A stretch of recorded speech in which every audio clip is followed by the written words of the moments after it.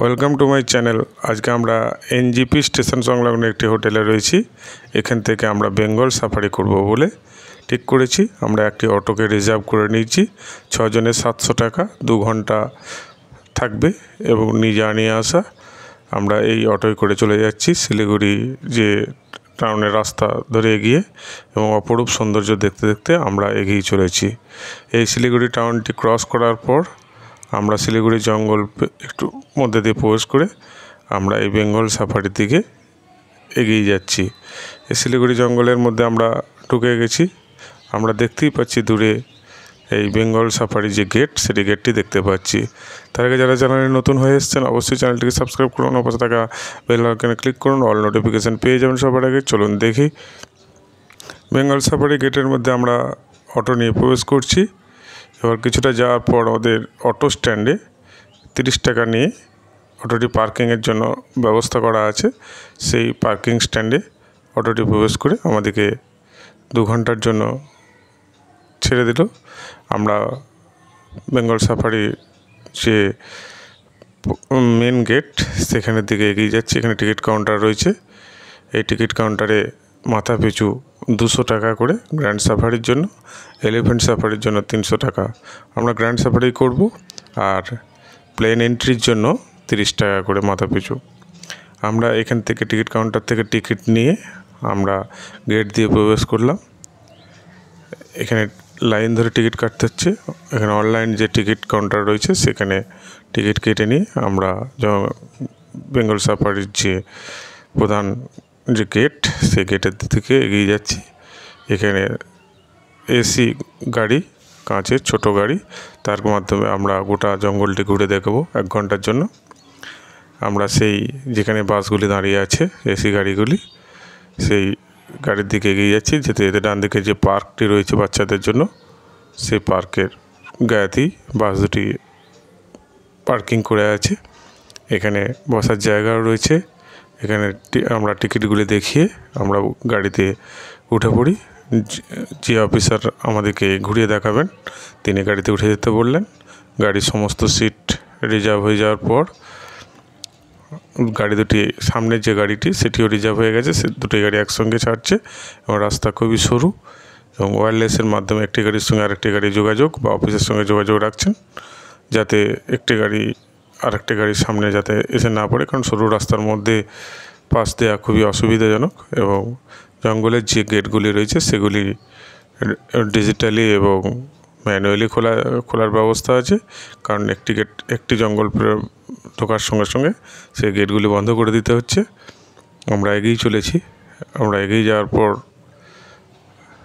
আমরা যে যেতে যেতে চারিদিকে যে মনোরম দৃশ্য সেটা আমরা দেখতে দেখতে এগিয়ে যাচ্ছি।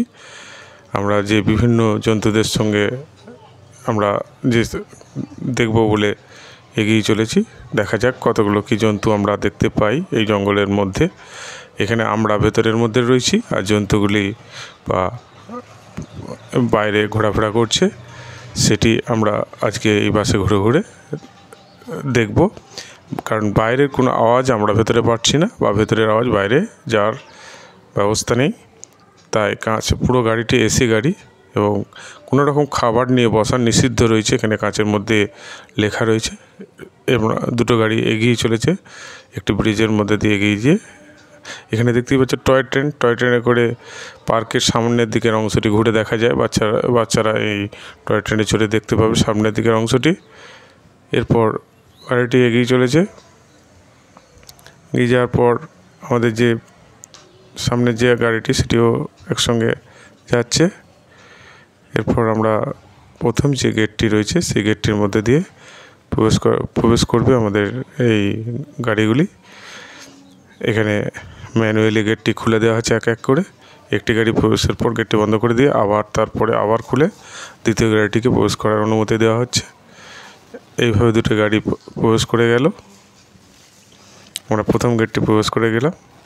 এবার যেতে যেতে আমরা চারিদিকে লক্ষ্য করতে থাকছি খুব উদ্বিগ্নের সঙ্গে। আমরা ডান দিক বাঁ দিক ভালো ভালো করে লক্ষ্য করছি কোথায় আমরা, কোন পশুকে আমরা দেখতে পাবো।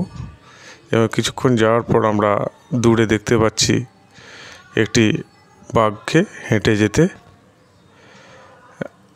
দূরে আমরা দেখতে পাচ্ছি একটা বাঘ হেঁটে যাচ্ছে, একটু দূরে রয়েছে, আর সামনের গাড়িটিও এগিয়ে যাচ্ছে ওই দিক দিয়ে।